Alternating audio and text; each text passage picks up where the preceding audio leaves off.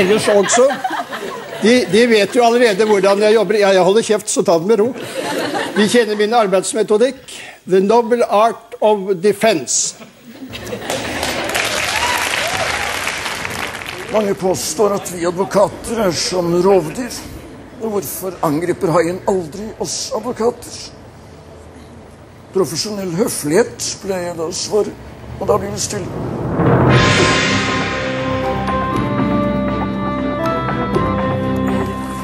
For mitt vedkommende er det mange som påstår at jeg ikke har sans for humor.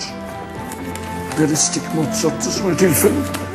Selv om kanskje det er the practical joke som ligger mitt hjerte nærmest. I dag for eksempel, så har jeg en sak, en sluttprosedyre i en sak der jeg regner med å tape så det suser. Jeg har bare en eneste mulighet for å vinne saken, og den muligheten den har jeg tenkt å utnytte maksimalt. Dette er en blanding av humle og pulverisert råhypnol. Og all erfaring til Noe av det morsomste jeg vet, det er å spøke med folk som er så tjukke i huet at de ikke merker noe.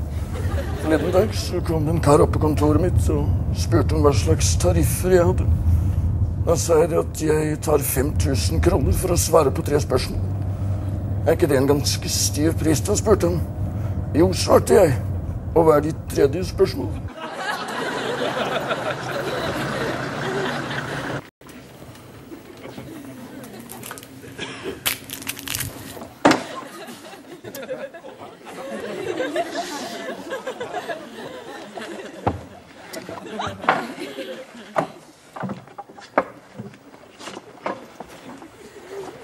Det er klart at det finnes dårlige advokater. Det er ikke tvil om det. Er du skyldig inntil det er bevist at du er blakk?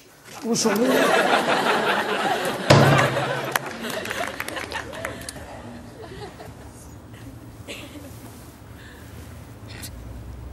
Beklager.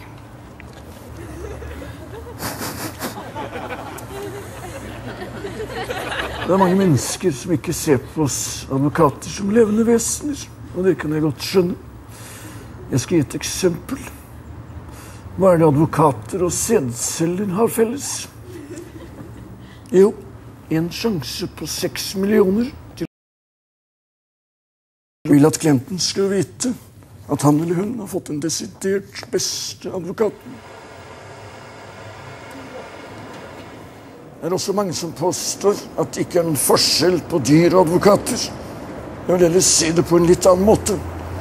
Det er forskjellen på en død grevling som ligger midt i veibanen, og en død advokat som også ligger midt i veibanen. Det er bremsespor foran grevlingen.